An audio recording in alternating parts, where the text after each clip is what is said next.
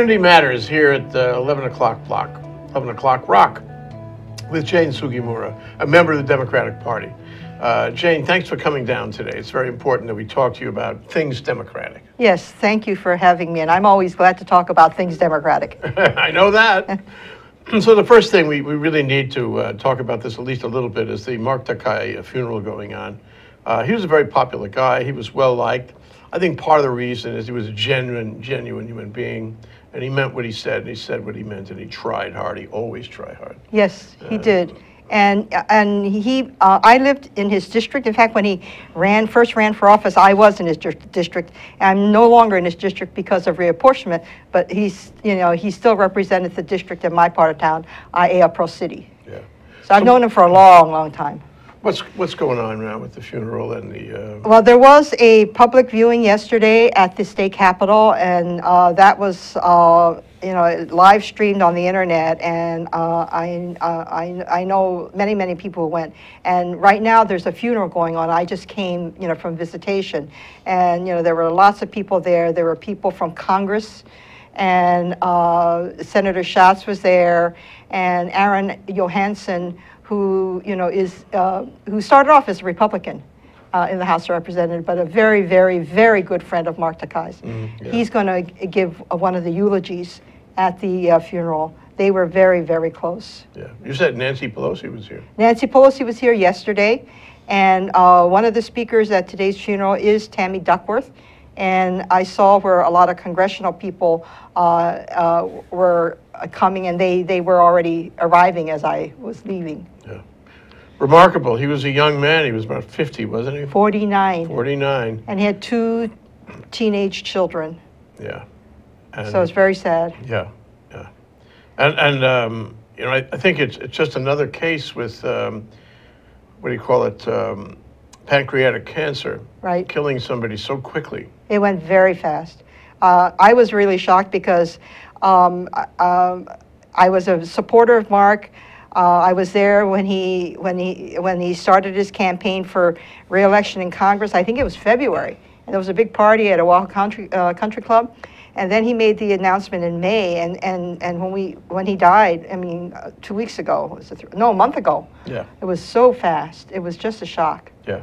It, it, that's, the way it, pancreatic yeah, cancer works. Very, it was very shocking. Remarkable that he achieved, uh, you know, the friends and connections that he did in Washington in a relatively short period of time. And you know, I'm on the neighborhood board in Aiea, and so Mark was at all of our meetings over all of the years.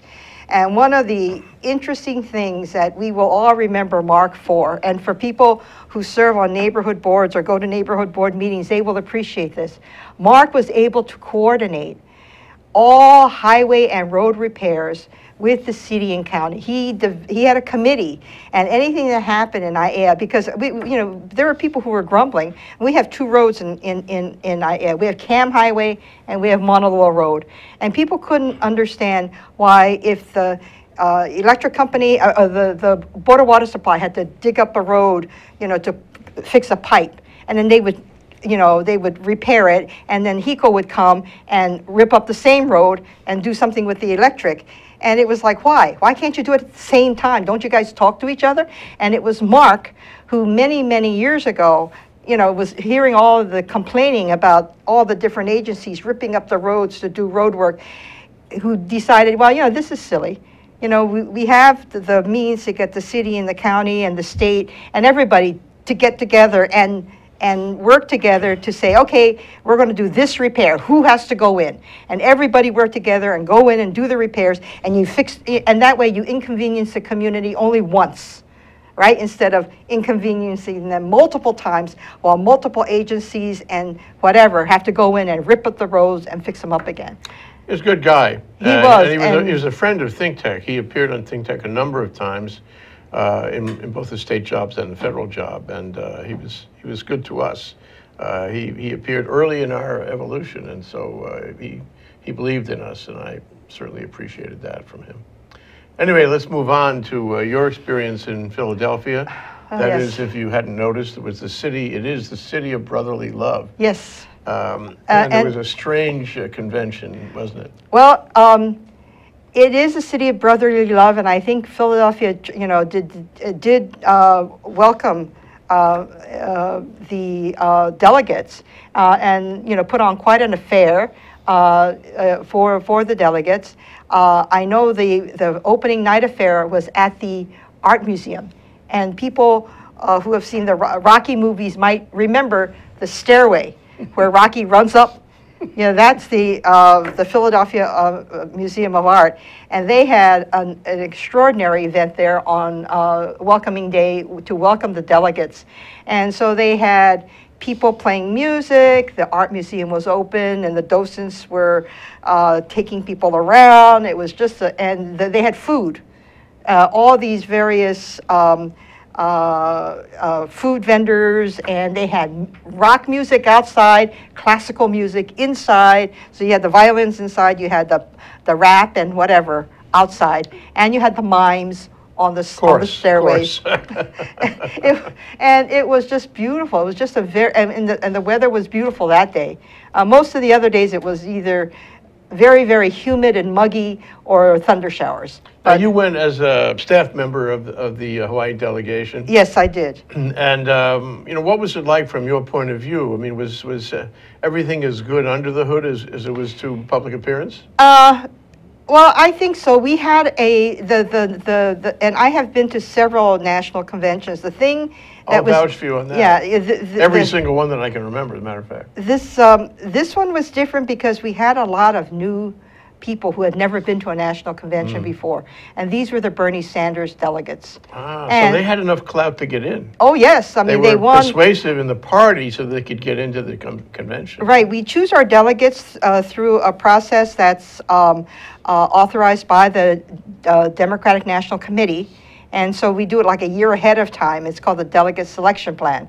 And uh, we had our caucuses in March of this year.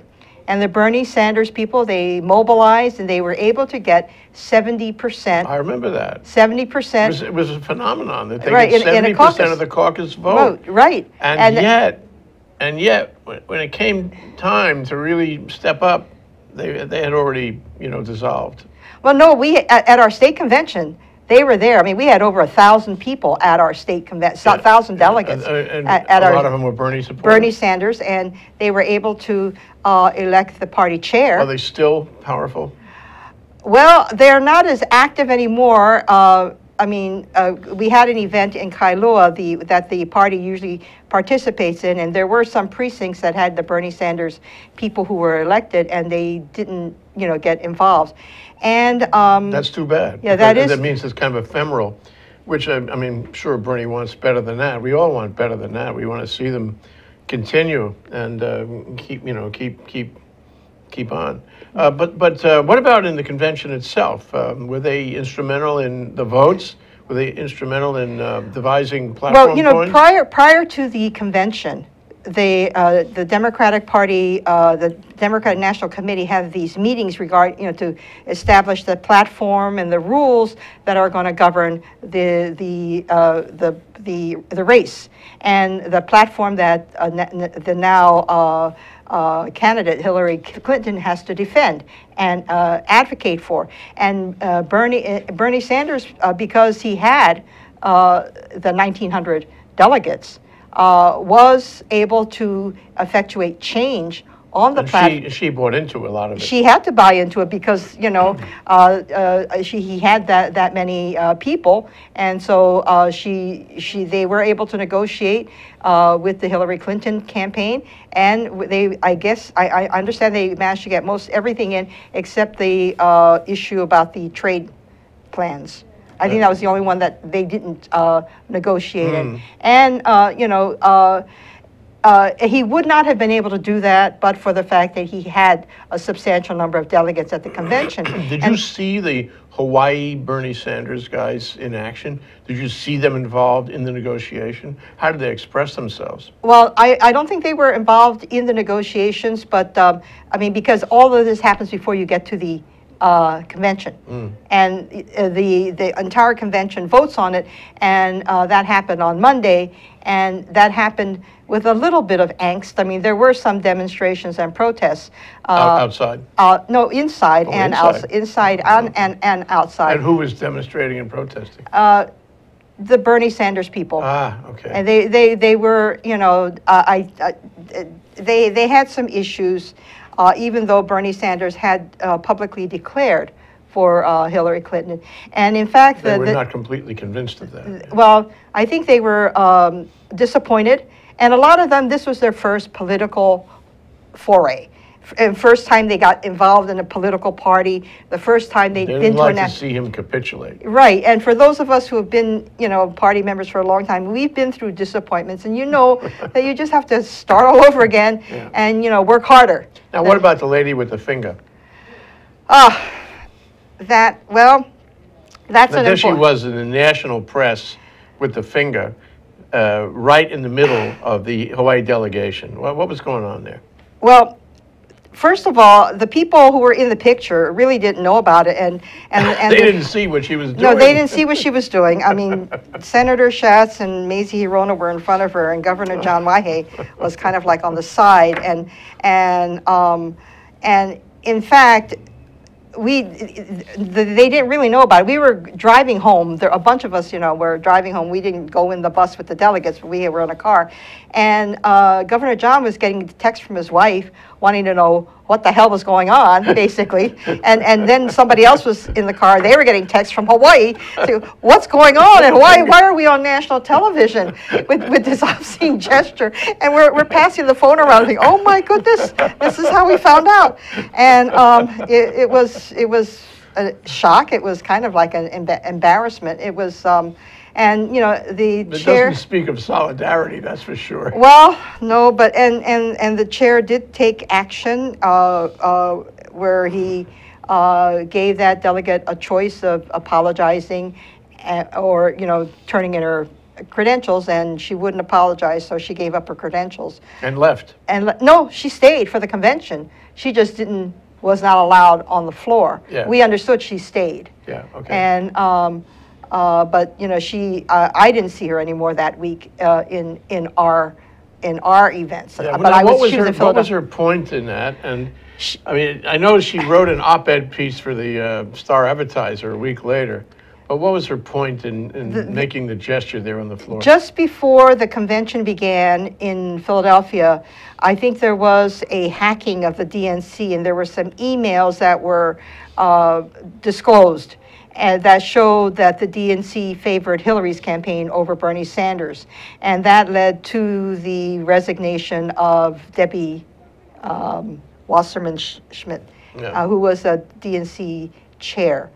And so uh, my understanding is uh, the delegate was mad at the DNC. Why she chose to make the obscene gesture uh, during the time when, you know, uh, the Hawaii delegation was on national television during the roll call doesn't really make any sense. If she's mad at the DNC, she should go and march in front of the DNC with her obscene gesture, you Yeah, know, yeah, not, yeah, not do it in a, in a group, you know, that represents the state, uh, and that, you know. Right, and it's on national television, and so our image is there. Right. Well, we're not going to do that here in Think Tech. We're not even going to show you what the obscene gesture is or was, but we will take a break. We'll come back. Maybe we can do it during the break, Jane. Aloha, my name is John Waihe'e, and I used to be a part of all the things that you might be angry at. I served in government here and may have made decisions that affects you. So I want to invite you in. I want to invite you in to talk story with me and some very special guests every other Monday here at Talk Story with John Waihe'e. Come on in, join us, express your opinion, learn more about your state, and then do something about it. Aloha. Aloha, I'm Kaui Lucas, host of Hawaii is My Mainland every Friday here on Think Tech Hawaii. I also have a blog of the same name at kauilucas.com where you can see all of my past shows. Join me this Friday and every Friday at 3 p.m. Aloha. Bingo. So you were there among the delegation from Hawaii at, at the at the floor uh, in the city of brotherly love uh, three weeks ago, I guess. Um, what was it like, and what was the delegation like? Uh, the delegation, you know, usually, you know, there's camaraderie, so, you know, everybody kind of got along, but we didn't see a whole lot of the Bernie people. And I, I was told it was because they couldn't afford to stay in the hotels, and so they were staying other places. You know those Bernie people. Uh, and uh, so, and and uh, for some reason, our congressional people didn't stay in our hotel. Usually, and you know, our hotel, for one thing, was way outside. We were an hour away from the city. no kidding. We were in Valley Forge. Well, it has historical significance. Right. So, so I can see why maybe the congressionals might want to stay in town because you know that way. But but typically, you know, we were all kind of like in the same place. I mean, in years past. in years past, Yeah. in the the, the Did that have an effect on your ability to communicate with them? No, I mean, because we would get together for caucuses and they would show up at the convention, the congressionals would be there. And, um, uh, you know, and, and I think overall, the- you know, the- there, there, there was a, a, a good uh, mix of people who, who, you know, stayed together. I know the Bernie Sanders people had events during the day. and Their own events. Own events. Uh, the protests in the park and things like that. And It's so strange, you know. Usually, you know, I, I would assume that uh, you go to a, a convention like this, everybody's on the same page. Right. And, and in Hawaii, with Democratic Party is king, everybody's on the same page. Right. And you go there, and it's really, uh, we know what we're going to vote for. We, we know our position on things. But in this case, it wasn't like that at all. Right. Well, you know, there there were these protest groups that that you know had their events, and and so so I'm not saying that the, all the Bernie delegates went to those. I mean, and they went to other events because the, the, the various caucuses met at convention center the women's caucus the lgbt caucus the labor caucus so if anybody was interested in any of them they could attend those those meetings But these caucuses were about platform points, I Right. assume. They were- But the, you said the platform points were decided before the convention ever met. right So what's the point? Well, they have uh, other issues that they want to pursue, and you know they have members that you know they want to lobby with, and and you know basically the first two days of the election is political, right? After the roll call, What- which what's was political? What do you mean by that? political about who's going to be the national uh, candidate, Selecting leaders. selecting leaders, Yeah. you know, voting for the platform, and then the the after you know you have the roll call and the per- person is nominated to be the national candidate. The rest of the three days is a political advertisement.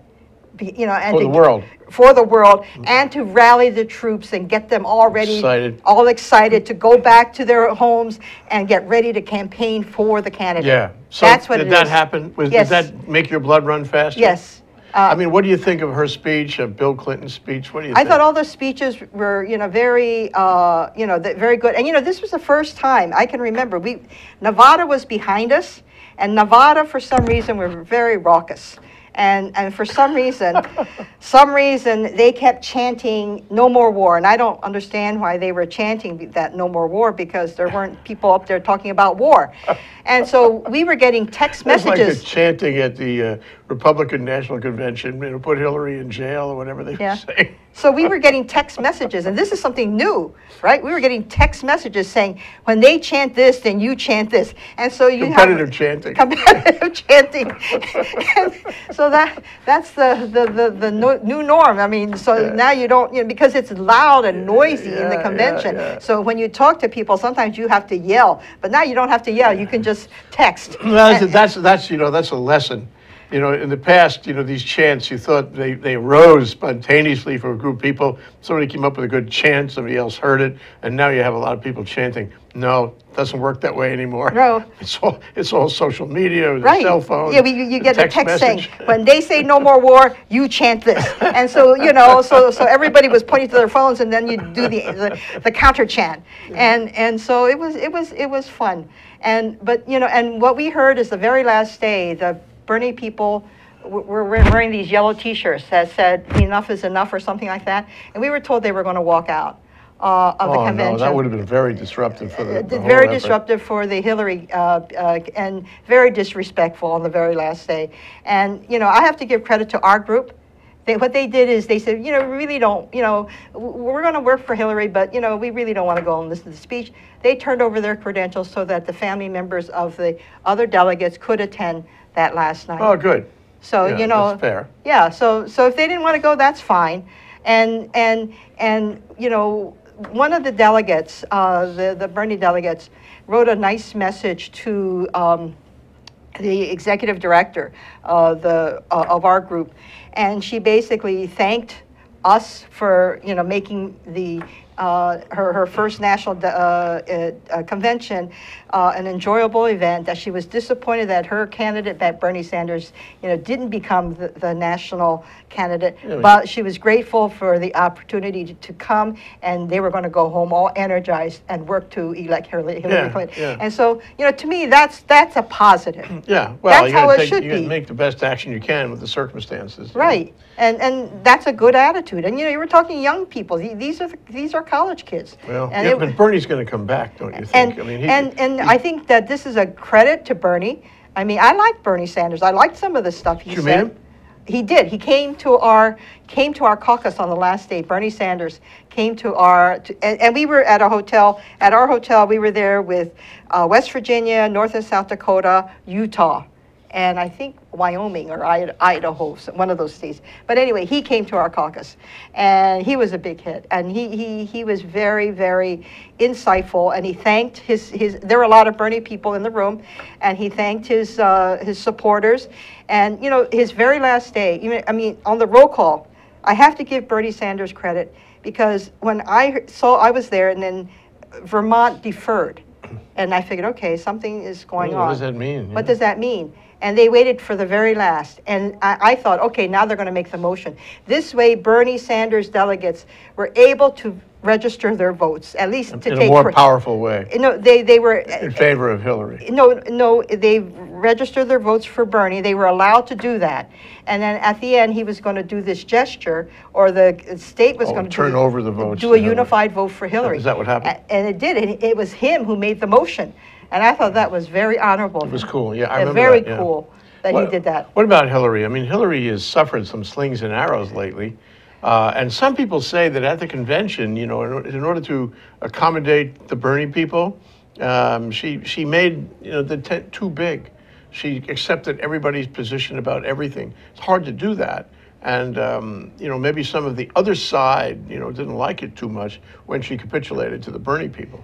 Well, you know, the Democrats have always bragged about we have, we're a, we have a big tent, and we fight. I mean, we historically we fight amongst each others, but you know, when it comes down to the nitty gritty, we come together, and you know, and sometimes we're you know we you know reluctantly vote the way we do, but we stick together, you know, because we all believe in certain basic principles. And I, I think the fact that, you know, she is advocating this broad tent is a good thing, you know, because, I mean, we, we, sh- we should invite, you know. She softened her position on a number of things. She yeah. did. And it was due to the fact that Bernie Sanders demonstrated that there were people out there who cared very strongly for s- these ideas and these principles and these policies. And so she, you know, i- so she has to listen if she's going to be representing them, you know, as the What is candidate. she now?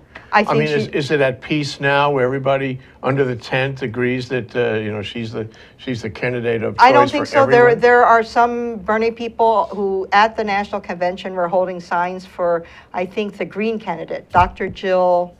I don't know what her name was, but I, I know I saw the signs, and I'm told that there are some people who, and there are complaints filed with the local Oahu County Committee Really? against certain Bernie Sanders uh, people because they represent. I mean, they're they're, they're campaigning for the Green candidate. Yeah.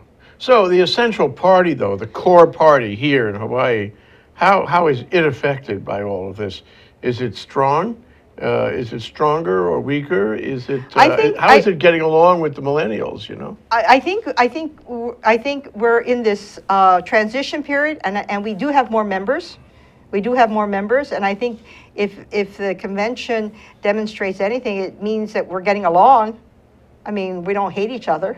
Except with the woman, woman with the finger. Well, no, uh, uh, she's, she's still in the party, I guess, uh, and although people have filed complaints against her, I, I don't know what her status is going to be. Uh, I think people are saying that if she doesn't like it, she should resign. Yeah. But, um, you know, um, like I said, we have a broad tent, I mean, and, you know, we, we invite everybody and we can fight amongst ourselves and So this was not all that disruptive to the. I, I don't think so. And, and it's part of the growing pains. It, what it does is it, it means that you've got a younger generation coming in and they think differently. So- And the party, well, they think more to the liberal side, I guess, because of the the And, and you have to, you have to accommodate, you know, you, Yeah, you need yeah. to learn to accommodate But what about, what about that's the the future. problem of one party? I mean, is that, does this help that problem? Because, I mean, some, some people firmly believe that we have a sort of a, a, a fatal flaw here. We have one party in the state running everything, and it responds to the unions. Um, and so we really don't have two hands clapping on anything, and decisions are made in the back room instead of, you know, in an open, uh, an open conversation between two separate two hands clapping. Um, and so I, I really wonder uh, how this whole affair with the Bernie people and what happened in Philadelphia affects that. Well, I don't, what I, what I think is, what it shows is that, you know, we're a dynamic party and we are flexible. And, you know, the thing about this back room, if there were, if there were backroom deals, there wouldn't be these lawsuits between UPW and the state of Hawaii about the privatization of the Maui Maui Hospital. hospitals. You know, so, you know, the thing about the backroom deals, I think, is, is, is a fiction. And uh, there is, you know, there, there, there's not always agreement between the unions uh, and the Democratic uh, elected. And what it is is what the, what what it is is the connection is access. They support Democratic candidates. I mean, that doesn't mean that they get what they want, but they have access. They have access to elected officials, and you know, and maybe more than a stranger because they're the, the- you know they have supported the Democrats because in general Democrats have supported the labor movement historically. What- They've, people have also expressed concern about the fact that whatever the system is, it doesn't yield um, uh, candidates who run against other candidates. And we have had several um, elections uh, in the campaigns in the, uh, I guess, the primary, where it was unopposed. Several. I mean, for important positions, unopposed. And whatever your party is, uh, even in a primary, you know, you want to see some, you want to see some some some some action there. You want to see new people come up, you know, and, and, and this disappointment, if I can use that word, is that the millennials and the Bernie people who, you know, have a lot to offer and who are thinking and acting and, you know, active at the convention, why don't they run for office? What's holding them back? They have. Uh, there are several who ran for office, uh, and they, you know, were in the primaries. Uh, they didn't. I don't think. I can't think of any who ran who won their races. But the thing uh, is, is they participated. Okay, so now they got their feet wet. Now they know the process. And I think what they have to do is they now know. I mean, they have to go out and work just like everybody else, to get people registered, to make sure they get out to the polls. And I was just as disappointed as you when I saw those numbers coming up on Saturday. 34%. 34 yeah, terrible. 34, yeah, that's terrible. You can't do that. You can't do that. No, it's, that's terrible. And I, and I agree with you. I mean, that, that's, that's, you know, that's a terrible reflection on the, the people here. That, what that means is that they're either satisfied with what the status quo or they don't care, which, and I don't know which is worse, you know? Yeah, And, yeah. but, but it is, it's very disturbing. That's something we all have to work on. Yeah, that's something we all have to work on. Yeah, and Think Tech will work on that. I mean, I think, I think we have to remind people that they, uh, in, um, as citizens in a, a democratic society, I don't mean Democratic Party, I mean a democratic society, they, they have obligations. And they have to connect with the government, they have to vote at the very least. Jane, thank you so much for coming around. Well, thank you for having me. Will you come around again and talk story with me again? Yes? Yes. That's Jane Sugimura, my, my law partner and also a, a- great supporter of uh, Think Tech, and she's associated also with Condo Insider. We'd love to have her come around. Thank you, Jane.